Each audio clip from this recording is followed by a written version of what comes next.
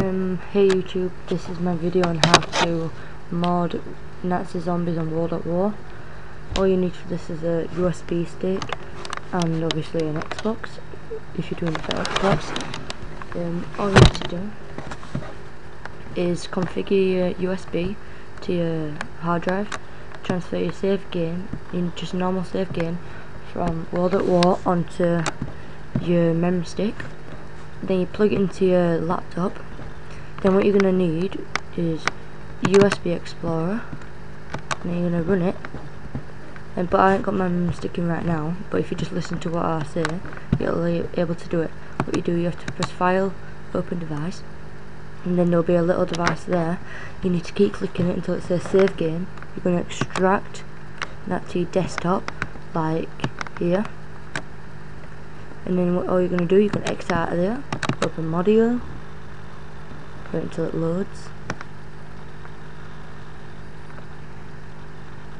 Any second now. And you can get loads of modded ones, but I will post a link for the modded save game, so then I'll tell you what to do. Right, fine Right, what you're gonna do once you've got modded save onto your thing and this normal save game. You're gonna click open save. You're gonna go down until you find your save game there. You're gonna open it. This is my profile ID um and second dude. Sorry about that there was a bit of noise downstairs um, so once you've got your normal one you're gonna open your I think this is a modded one you're gonna open the modded one.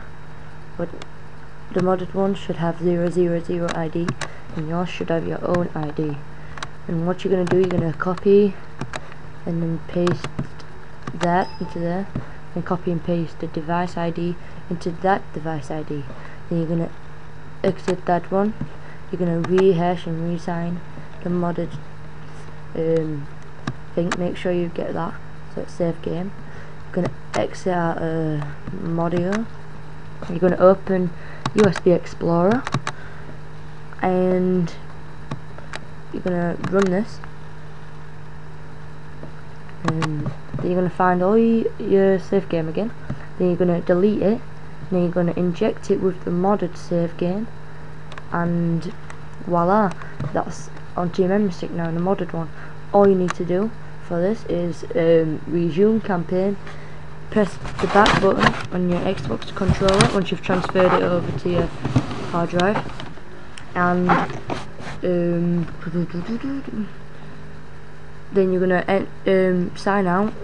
Then it push onto your main menu. Go into Xbox Live and Zombies um, it'll sign you in obviously and then you're gonna um, go on zombies and then you if you've got a modded clan tag it should mod your clan tag so then you'll have all stuff like um, bot god mode and all that. Thanks um, subscribe like and comment. Thank you. Bye